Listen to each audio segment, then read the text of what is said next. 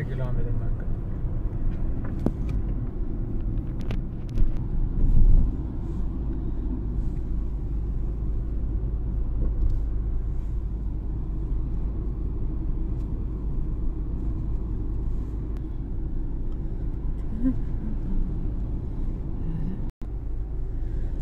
А вот там впереди уже Италия.